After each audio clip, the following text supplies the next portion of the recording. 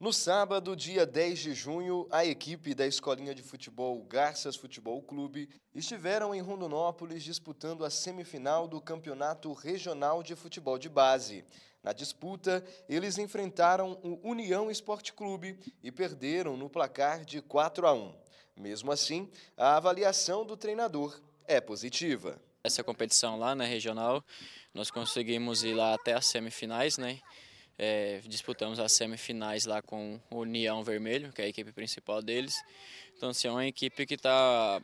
O projeto deles está muito tempo à nossa frente, né? Eles treinam, o professor deles falou para nós que eles treinam junto desde os 7 anos de idade, junto no futsal, no campo. Então, assim, eles já têm um conjunto há muito tempo, né? O nosso, o nosso time foi montado praticamente esse ano agora. Acho que nós temos aí uns quatro meses, mais ou menos, de time. E, assim, é, foi um ponto positivo, né? Da gente conseguir ir lá, chegar lá. Claro que fomos derrotados por eles, né? Mas assim foi um jogo que acredito que conseguimos competir com eles, não não ficamos assim devendo nada. Agora vamos focar nas próximas competições que a gente tem por, por resto do, desse ano. Importante a gente destacar que competições como essa, né, fortalece esse espírito esportivo de toda a garotada. Sim, Luiz, exatamente, fortalece o espírito esportivo. Nós vamos lá, lá é quem os pais que acompanharam que foram lá viu lá o como que é o ambiente, né? Lá tem, se eu não me engano, tem quatro a cinco campos lá, todos os quatro, cinco campos rodando o jogo.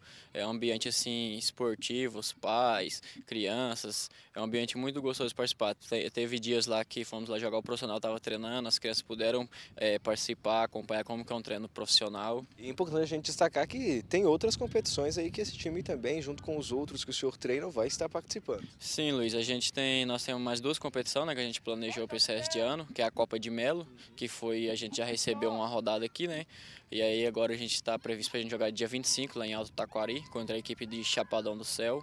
Nessa aí a gente participou em três categorias, né? O sub-10, o sub-12 e o sub-14. E nós temos a Copa também Termais, que é lá em Jataí, que é uma Copa que daí tem bastante olheiros, né?